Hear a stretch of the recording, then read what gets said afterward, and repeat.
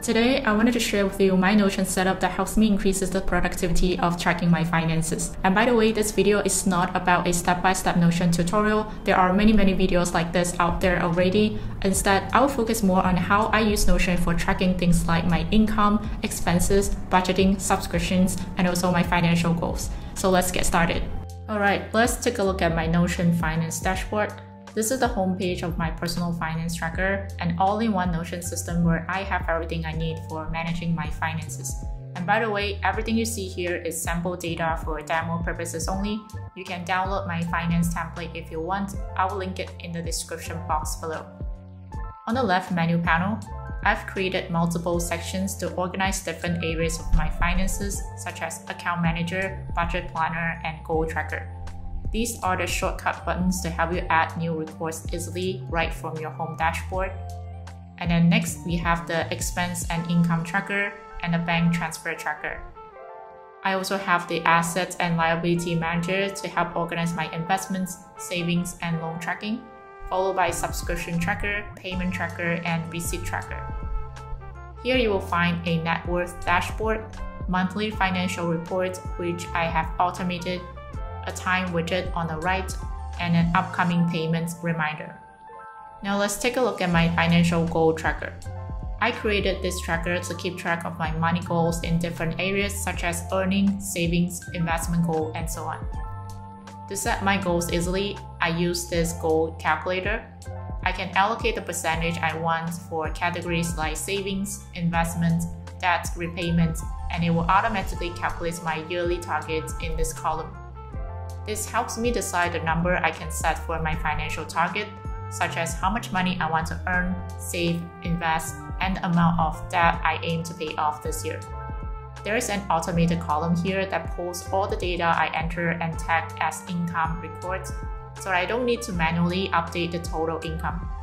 The financial report will display the aggregated amount, and this applies to the total savings, invested amount, and mortgage as well. Next, we have the budget planner. I've already demonstrated the budget planner template in a previous video, so feel free to check it out to see how it works. I created a spending tracker to monitor all expenses, whether they are personal or tax deductible or business related spending. If I want to record a grocery expense, I can link this record to both my monthly and yearly reports. I'll also add a category like grocery spending then I can specify which bank card I used for this expense.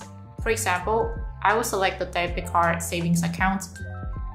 Make sure to remember the total amount before we deduct it because I want to show how the automated calculation works in this template. Back in the expense tracker, I will enter the amount spent, let's say $70. You can also mention the service provider, upload a receipt if you have one, and check if the expense is tax deductible.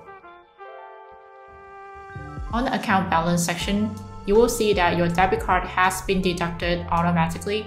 This feature is definitely a game changer because it helps you stay on track with your bank balance in real time. But what if I want to see my spending habits? You can do this by going to the expense report.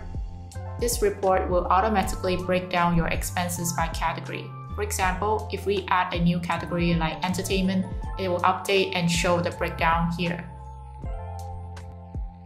This is my income tracker in my Notion setup. We can start by adding a new record. Let's say you receive freelancing income, and then you can link this record to both your monthly and yearly reports. In the subcategory, you can select the relevant category for this income. In this case, we will choose freelancing. Next, I'll specify which account I'm using for this income transfer.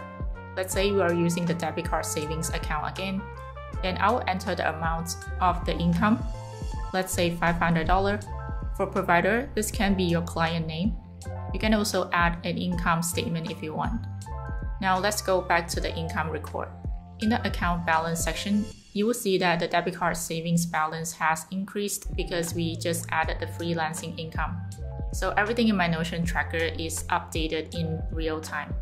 You can also create your own subscription tracker in Notion to keep track of your recurring payments, due date, and total subscription cost. You can categorize your subscription such as by entertainment, software, and business. I've added a custom filter here to view subscriptions that are active, overdue by a certain number of days, and those I have cancelled. Let's test it out and see how the tracker works. Add a new subscription record, specify the last purchase date, let's say today, then enter the price of your subscription. Frequency refers to your payment terms, so if you select monthly payment, you will notice it will automatically calculate the next billing date. And if you switch to yearly payments, the next billing date updates accordingly. I've also added a countdown feature so that you can see exactly how many days are left until your next payment. This subscription tracker also works as a reminder, so if I go back to the home dashboard, you will see the upcoming payments displayed on the right hand side.